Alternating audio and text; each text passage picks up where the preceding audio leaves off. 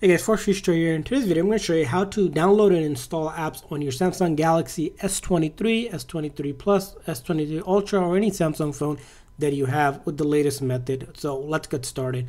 First way to download apps is that you'll go into Play Store.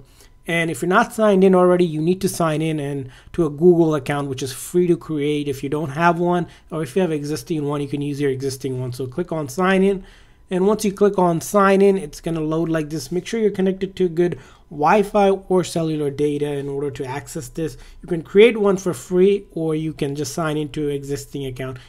So once you're signed in, you should see your account like this. And now you can search for the app that you want to download. So you can see here recommended apps. There's a bunch of apps listed here. Let's go ahead and search up an app, right? You want to search up maybe WhatsApp, right? You can search it up just like that and you can hit install when it comes up. And as you can see here it's starting to install. Here this one is a 43 meg app. WhatsApp Messenger? It's installing.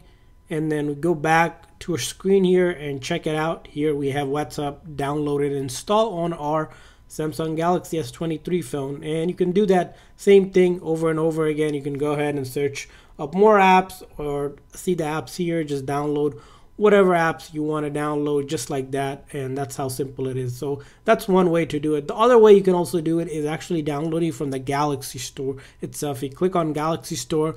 Same thing here. Similarly it happens exactly like this. You go ahead and search up the app right?